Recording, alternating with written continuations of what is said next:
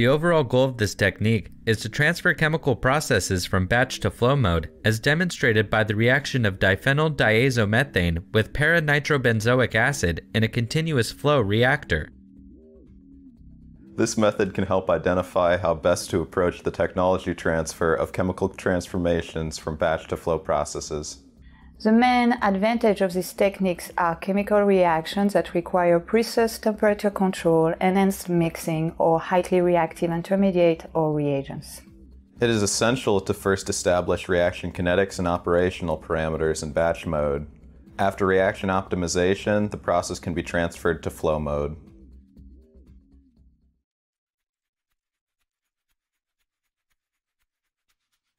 First, check that each high pressure 500 milliliter syringe pump is connected to its own pump controller. Empty the solvent collection beakers.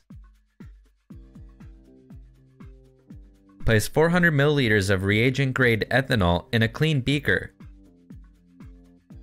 Transfer one syringe pump inlet feed tube to the beaker and fully open the corresponding pump inlet valve. Then, on the syringe pump controller, select constant flow and the port connecting the controller to the pump transducer. Start filling the syringe pump with ethanol at 70 milliliters per minute.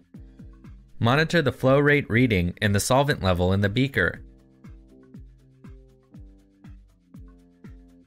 Express the air from the pump. And once the syringe pump is full and pumping has stopped, Close the inlet valve. Repeat.